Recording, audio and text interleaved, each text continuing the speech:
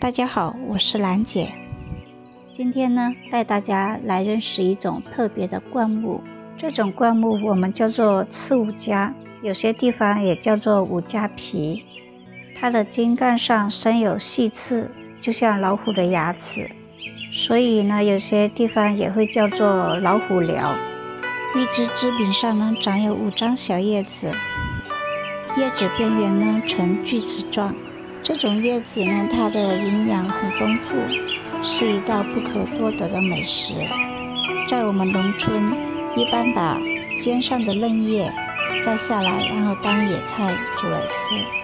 它的煮法可以拿来煮汤，或者炒，或者是凉拌都行。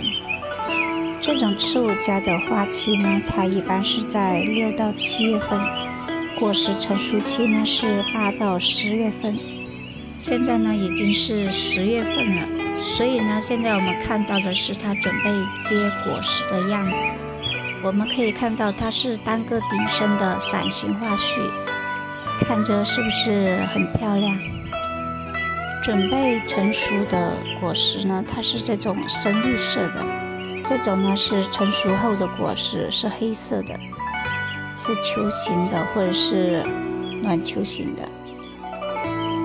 果实里面呢，它是有紫色浆，然后有两颗籽。刺五加它除了能做野菜之外呢，它还是不可多得的一种药材。据医书上记载，它的根和叶子有清热解毒、祛风除湿的作用哦。朋友们是否也有认识这种刺五加的呢？它还有什么其他的用途或者是价值呢？欢迎大家在评论区发表留言。